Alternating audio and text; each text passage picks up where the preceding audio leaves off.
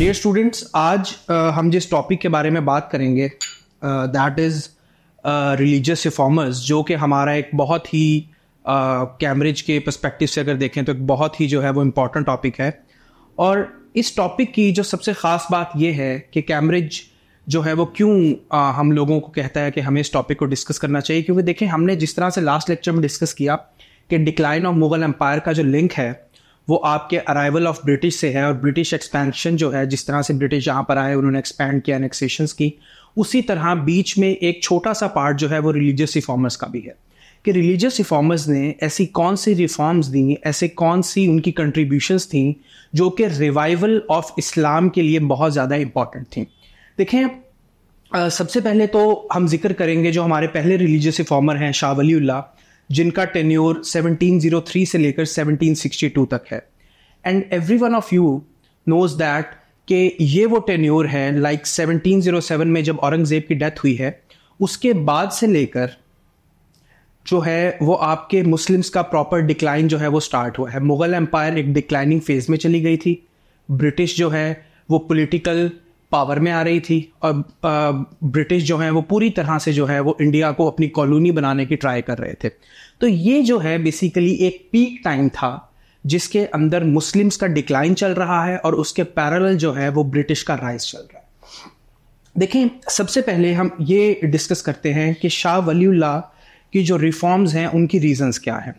देखें ऑब्वियसली सबसे बड़ी रीज़न तो ये है कि मुग़ल एम्पायर की जो पॉलिटिकल इंस्टेबिलिटी है और उसके साथ साथ ब्रिटिश और मराठास जो हैं, जिस तरह से वो पूरे हिंदुस्तान पर काबिज होने की कोशिश कर रहे हैं तो यहाँ पर एक ऐसी शख्सियत की ज़रूरत थी जो मुसलमानों को ये समझाता कि ये जो मुस्लिम्स का डिक्लाइन है, ये मुस्लिम्स डिज़र्व नहीं करते। क्योंकि देखें, आप सब बखूबी जानते हैं कि सेवन ट्वेल्व ऑनवर्ड्स जो है मोहम्मद बिन कासिम उसके बाद महमूद गजनवी उसके बाद आपका सुल्तानेट पीरियड जो इंडिया में रहा, उसके बाद आपके मुगल्स का जो दौर रहा तो overall throughout these years आपकी जो एक मुस्लिम इम्पोर्टेंस थी इंडिया में, वो बहुत ज़्यादा थी। लेकिन अब जो है, वो ब्रिटिश का आगे निकलना, मराठास का आगे निकलना नॉन इस्लामिक प्रैक्टिसेस का पूरे हिंदुस्तान में फैलना तो ये चीज़ जो है, ये मुसलमानों के लिए बहुत ज़्यादा डेंजरस थी। उसके बाद करप्शन और इकोनॉमिक डिक्लाइन जो है, वो बहुत ज़्यादा यहाँ पर जो है, वो तेज़ी से बढ़ रहा था, जिसकी वजह से शाह वलील्ला को ये रियलाइज़ हुआ कि मुस्लिम्स जो हैं, उनको एक प्रॉपर गाइडेंस की ज़रूरत है। मुस्लिम्स आपस में उनका इतफाक़ जो है, वो ख़त्म होता जा रहा था। शिया सुन्नी के मसाइल जो हैं, वो हिंदुस्तान में बढ़ते जा रहे थे, जिसकी वजह से एक रिलीजियस डिक्लाइन जो था, उसका खौफ शाह के दिल में था। देखिए, इन चीज़ों से पहले टॉपिक को स्टार्ट करने से पहले उनके क्या एक्शंस थे, किस तरह से उन्होंने इन चीज़ों को डील किया, उससे पहले मैं आपको एक बहुत अहम बात यहाँ पर यह बताना चाहता हूँ कि शाह वलील्ला जो हैं, उनके बैकग्राउंड के बारे में अगर हम थोड़ी सी बात करें तो वो ये है कि शाह वलील्ला शुरू से जी, शुरू से जो हैं, वो रिलीजियस एजुकेशन में काफ़ी ज़्यादा जो है, वो इंटरेस्टेड थे। मेरे स्टूडेंट्स इस बात को जानते हैं, जब हम क्लास में ज़िक्र करते हैं तो मैं अक्सर बताता हूँ कि उनका जो बैकग्राउंड है कि वो सऊदिया गए, वहाँ पर उन्होंने रिलीजियस एजुकेशन ली, उनका पर्शियन लैंग्वेज में बहुत ज़्यादा इंटरेस्ट था।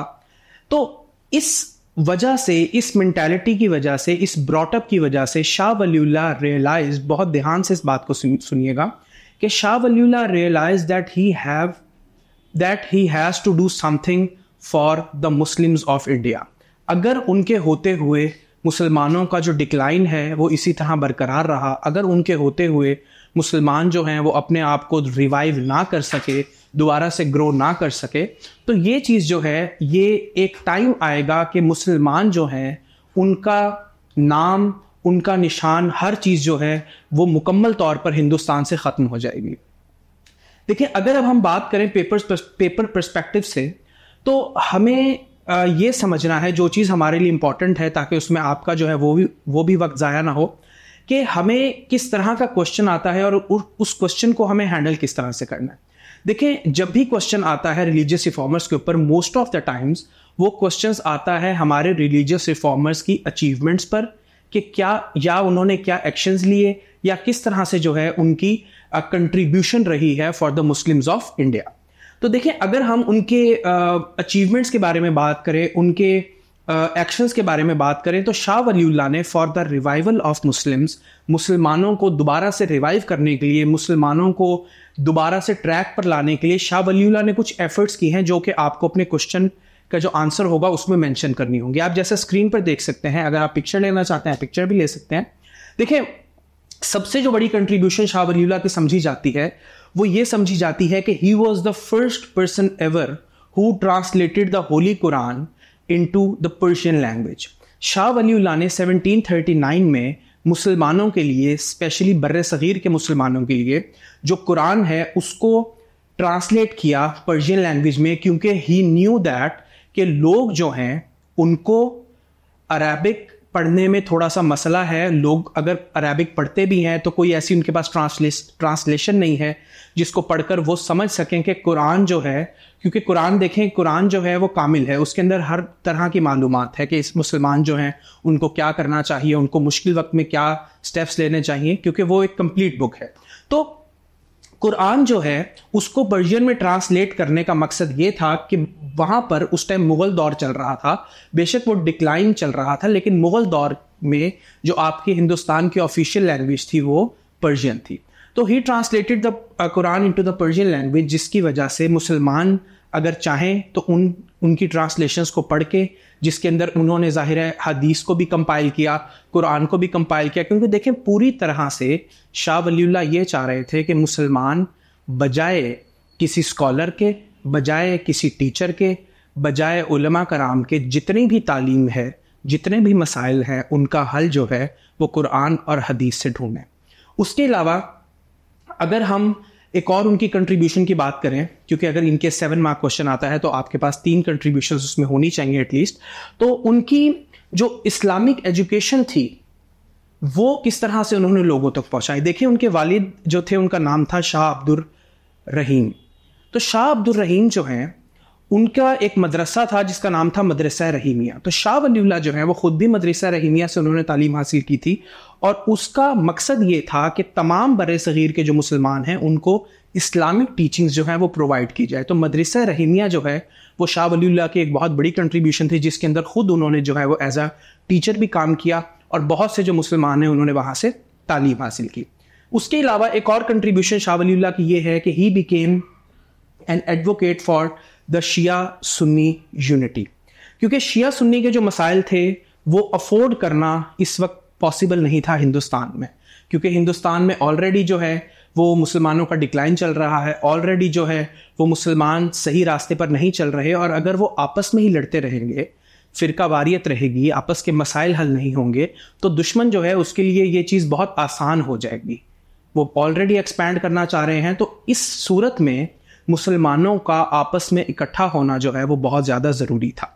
उसके अलावा मैं दो से तीन चीज़ें जो हैं और इसमें मज़ीद ऐड कर देता हूँ कि शाह वलील्ला की एक बहुत बड़ी कंट्रीब्यूशन ये थी कि शाह वलील्ला ने मुग़लों से एक रिक्वेस्ट की थी, क्योंकि मराठन एम्पायर जो है उस टाइम वो पूरी तरह से जो है वो हिंदुस्तान पर काबिज होना चाह रहे थे।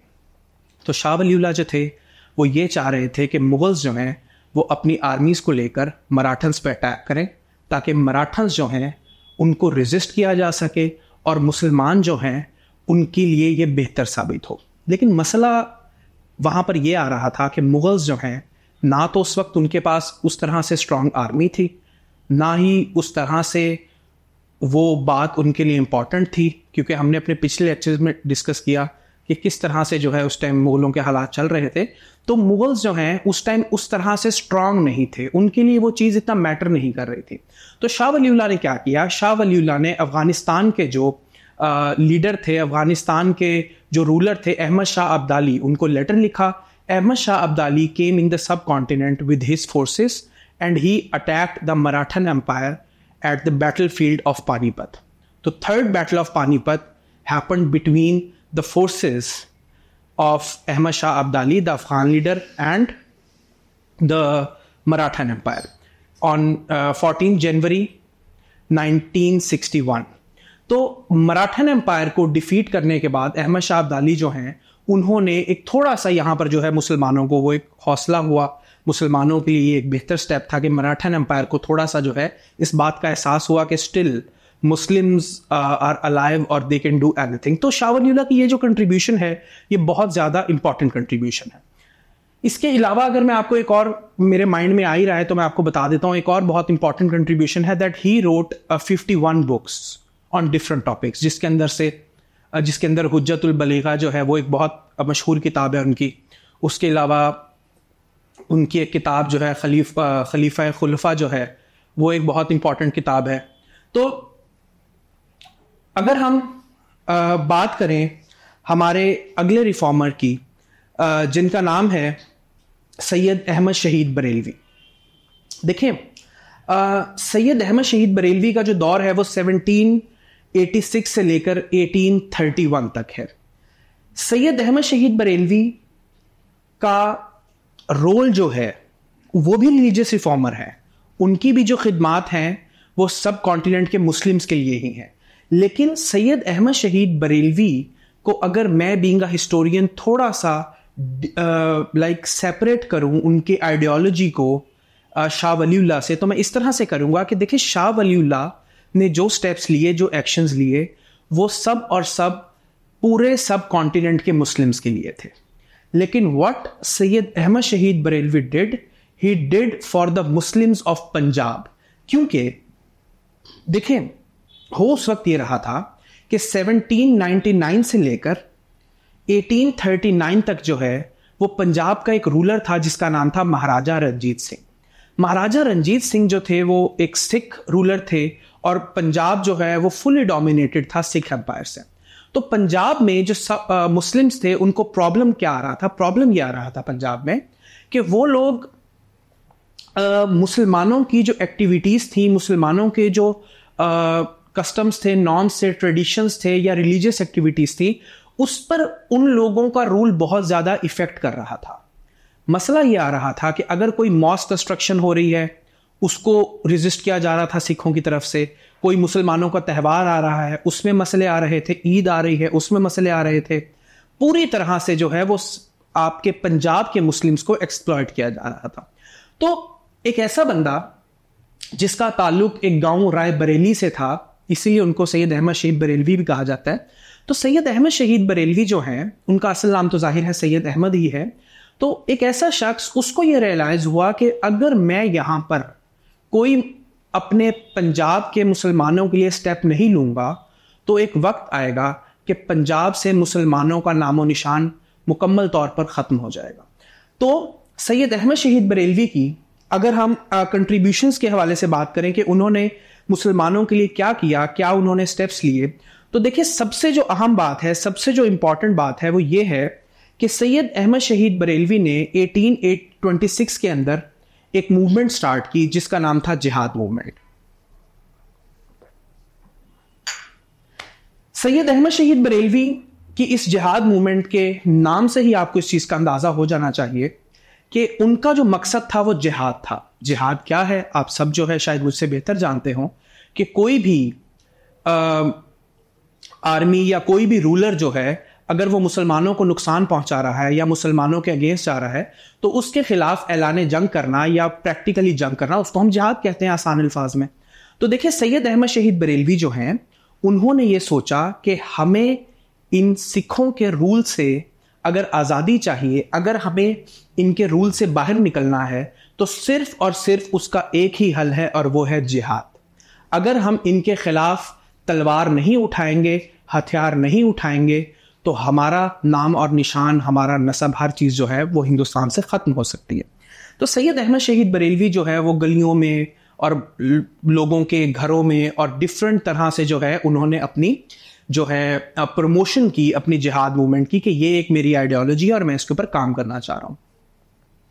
वुड यू बिलीव के उन, उन्होंने अपनी कैंपेन के through he gathered the army of eighty thousand Muslims eighty thousand Muslims जो आर्मी उन्होंने इकट्ठी की, उनको ज़ाहिर है मुजाहिदीन कहा जाता था, क्योंकि वो सारे जो थे, उनका एक ही मकसद था कि सैयद अहमद शहीद के साथ मिलकर जो है, वो जिहाद की जाए। तो सैयद अहमद शहीद की अगर हम मिलिट्री कैंपेन्स के बारे में बात करें, जैसा आप स्क्रीन पर देख सकते हैं, देखिए he organise his forces in the North West Frontier Province N W F P जिसको आज के पी के कहा जाता है and led several military campaigns against the Sikhs बहुत सी उन्होंने कैंपेन्स जो है, वो सिखों के खिलाफ की मुख्तफ लड़ाइयाँ हुई किसमें किसी में वो फतह याब हुए, किसी में उनको शिकस्त हुई। With the aim of liberating Muslim lands and establishing an Islamic government based on sharia तो यहाँ से आपको एक बात समझ आ जानी चाहिए कि उनका जो मकसद था, वो ये था कि हमें हिंदुस्तान के अंदर खसूसी तौर में खसूसी तौर पे पंजाब के अंदर जो है, हमें एक इस्लामिक गवर्नमेंट जो है, वो इस्टेब्लिश करनी है और वो जो होगी, वो सिर्फ़ और सिर्फ़ जो है, वो शरीयत के अकॉर्डिंग चलेगी। एक बहुत मशहूर सैयद अहमद शहीद की जो बैटल है, जिसका नाम बैटल ऑफ़ बालाकोट है, इसमें अक्सर जो है, वो फोर मार्क क्वेश्चन भी आ जाता है। तो bat battle of Balakot happen in 1831 battle of Balakot का सिलसिला ये है कि सैयद अहमद शहीद जो हैं, वो जंग करने जो है, वो सिखों की ज़ाहिर है मैं आपको बताया कि उनकी जो बेस थी वो एन एफ़ पी में थी, जो कि आज के पी के नाम से जाना जाता है। तो वहाँ पर सैयद अहमद शहीद जो हैं, उन्होंने अपना कैंप लगाया to fight against the Sikh army तो जब उन्होंने वहाँ पर अपना कैंप लगाया, बेस लगाया तो उनका यह प्लान था कि सिखों के साथ हमने जंग करनी है, सिखों को हमने शिकस्त देनी है और उसके बाद पूरी तरह से जो है हम एक इस्लामिक गवर्नमेंट जो है वो यहाँ पर बना सकते हैं अपने पंजाब में। तो वहाँ पर जो है किसी ने उनके बारे में इन्फॉर्म कर दिया। वहाँ पर जो है वो आप कह लें कि म्यूटनी हुई और सैयद अहमद शहीद बरेलवी के कैंप के बारे में, उनकी लोकेशन के बारे में जो है वो सिखों को बता दिया गया। तो सैयद अहमद शहीद के अगेंस्ट जो आर्मी थी सिखों की, उसका जो लीडर था उसका नाम था शेर सिंह। तो शेर सिंह जो है आ, उसके साथ जो आर्मी थी they attack the camp of Syed Ahmad Shaheed Barelvi और ज़ाहिर है रात के सन्नाटे में जब एक द, एक दम से जब हमला किया जाएगा तो ऑब्वियसली उस वक्त इंसान जो है वो मेंटली प्रिपेयर नहीं होता। तो सिक्स जो हैं उन्होंने इजीली जो है वो सैयद अहमद शहीद बरेलवी की जो आर्मी थी उनको शिकस्त दी और उसका नतीजा ये निकला कि सैयद अहमद जो हैं, उसके बाद से सैयद अहमद शहीद कहलाने लग गए 1831 में बैटल ऑफ़ बालाकोट के बाद।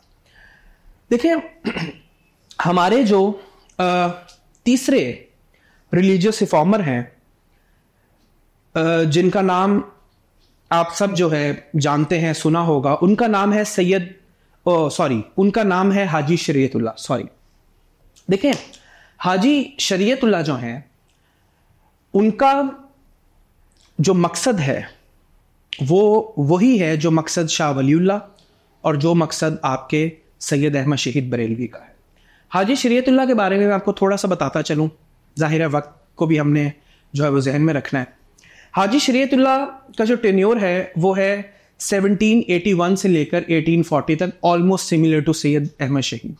लेकिन यहाँ पर जो मेन चीज़ आप लोगों को समझनी है, वो ये समझनी है कि सैयद अहमद शहीद बरेलवी, शाह वलीउल्ला और हाजी शरीयतुल्ला इन तीनों की आइडियोलॉजीज अगर सेम है तो उसमें डिफरेंस क्या है? देखें, सैयद अहमद शहीद बरेलवी जो हैं, उनका जो, उनकी जो आइडियोलॉजी है, उनकी जो रिफॉर्म्स हैं, उनकी जो रेजिस्टेंस है, वो सिर्फ़ पंजाब की हद तक है।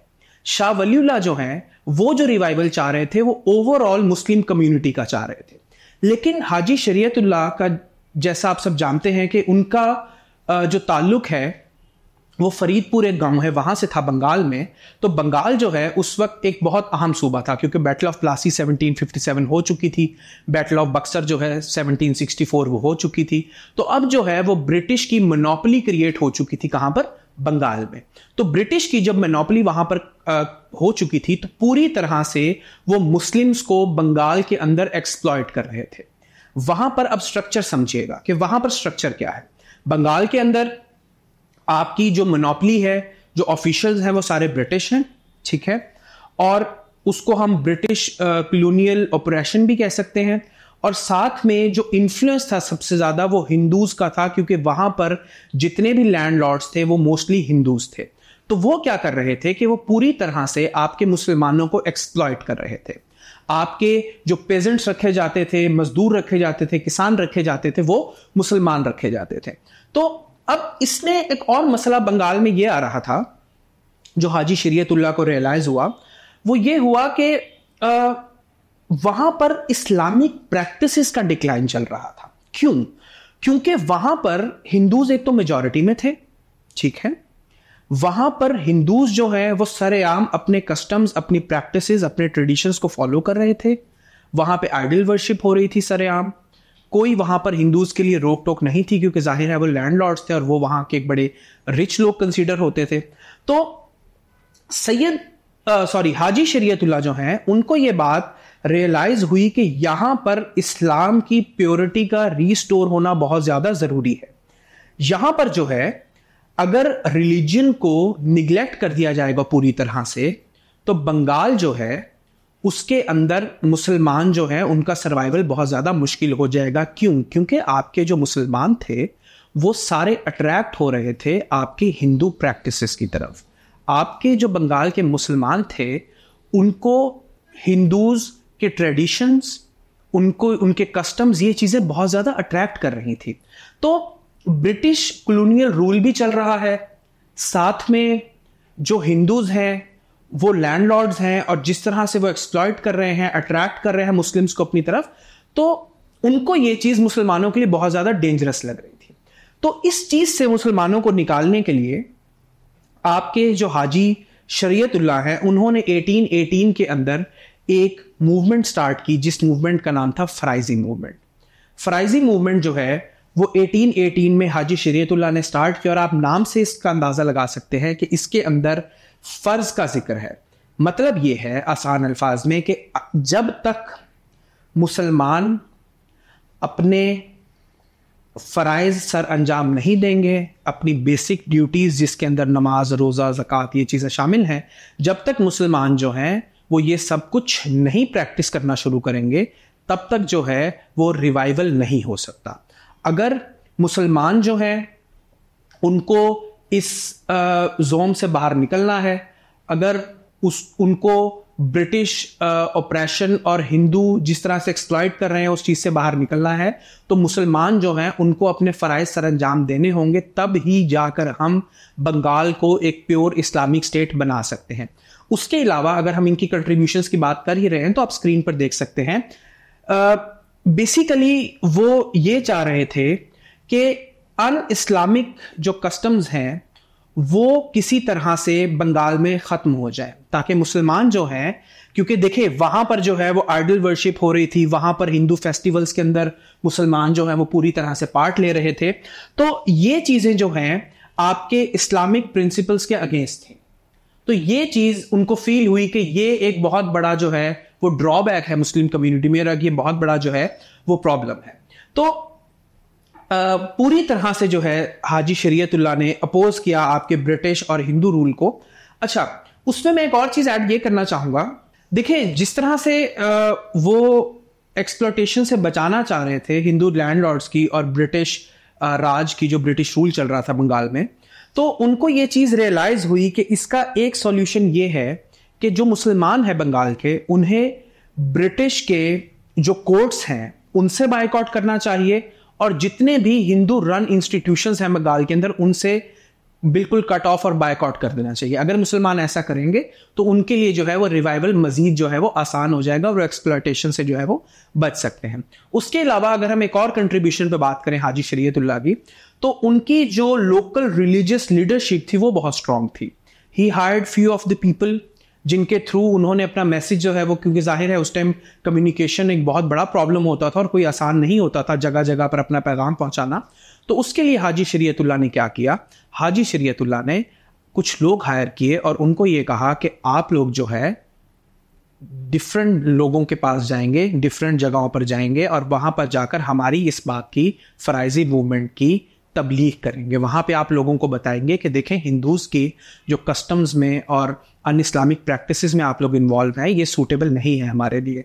और किस तरह से जो है, वो ब्रिटिश से और हिंदू से जो है, वो हमें आज़ाद होना है और उनके जो इन्फ्लुएंस है, उससे बाहर निकलना है। तो हाजी शरीयतुल्लाह जो हैं, उनकी इस फ्राइजी मूवमेंट को, उनकी डेथ के बाद 1840 ऑनवर्ड्स जो है, उनके बेटे, जिनका नाम दद्दू मियाँ है, और उनको मतलब दद्दू मियाँ के नाम से जाना जाता है, असल नाम उनका जो है वो मियाँ मोहसिन है। तो वो जो हैं, उन्होंने इसको कैरी फॉरवर्ड किया, और उन्होंने जो है, वो डिफरेंट बंगाल के एरियाज़ में डिस्ट्रिक्ट्स में जो है, अपने खलीफा जो है वो, अपने जो लाइक लोग अपॉइंट किए और उनके थ्रू जो है वो डिफरेंट जगहों पर मैसेज पहुँचाया। और इवन उन्होंने लोगों को ये भी कहा था कि हमें जो है वो इस चीज़ के ऊपर जो है वो प्रॉपर सीरियस होकर काम करना है ताकि हम जो है अपने जो हाजी शरीयतुल्ला हैं, उनकी इस आइडियोलॉजी को जो है वो पूरे बंगाल में पहुँचा सकें। तो ये बेसिकली आपका जो तीन रिलीजियस रिफॉर्मर्स हैं, उनकी कंट्रीब्यूशंस थी जो कि आपको सेवन मार्क क्वेश्चन में और फोर्टीन मार्क क्वेश्चन में काफ़ी हेल्प करेंगी। So if you guys have any kind of question कोई भी प्रॉब्लम हो, कोई चीज़ समझ ना आई हो, कोई कन्फ्यूज़न हो तो प्लीज़ प्लीज़ प्लीज़ आप लोग कमेंट सेक्शन को ज़रूर यूज़ कीजिएगा। बजाय इसके कि सिर्फ़ आप उसे यूज़ करें कमेंट्स के लिए और रिव्यूज़ के लिए इवन आप कोई इन्फॉर्मेशन इसमें अगर ऐड करना चाहते हैं तो उसे प्लीज़ यूज़ कीजिएगा। आई होप कि आप लोगों को काफ़ी चीज़ें समझ आ गई होंगी। Thank you so much every